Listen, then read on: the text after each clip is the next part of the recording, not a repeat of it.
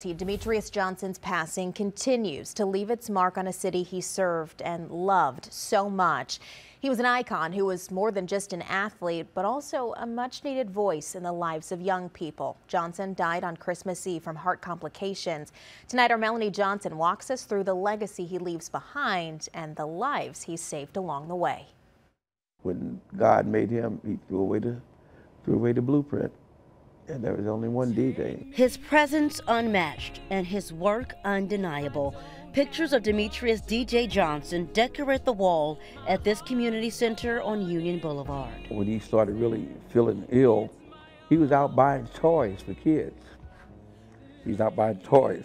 That's what he did. A place Willie Metcalf tells News 4 is still open only because of one phone call to Demetrious Johnson. He came through uh, for me. He came through for the community in a big way. For years, it has been the hub for the Demetrious Johnson Foundation. He gave kids experiences that they would never have had if they had not met him.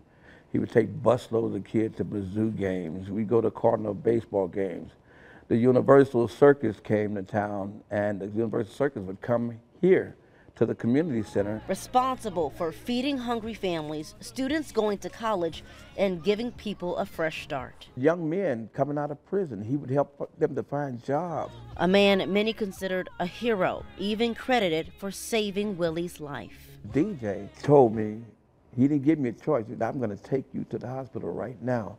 And if he had not taken me to the hospital that night, I don't know where I would be to this day. Gone at 61 years old, the decorated NFL and Mizzou football player died on Christmas Eve. Oh, wow. He's a brother, a partner, a conscience. He leaves behind a wife of 34 years, two daughters, a son, and a city that looked to him as their champion.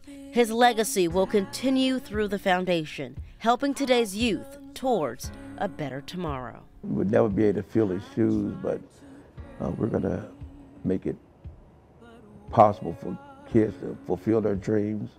A memorial service will take place here at the Chaifetz Arena on Monday. It is open to the public. The family is asking anyone that wants to make contributions to send them to the Demetrious Johnson Foundation. Melanie Johnson, News 4. That service will be Monday at noon. The formal procession will take place from the Demetrious Johnson Foundation on Union Boulevard to Memorial at Chaifetz Arena.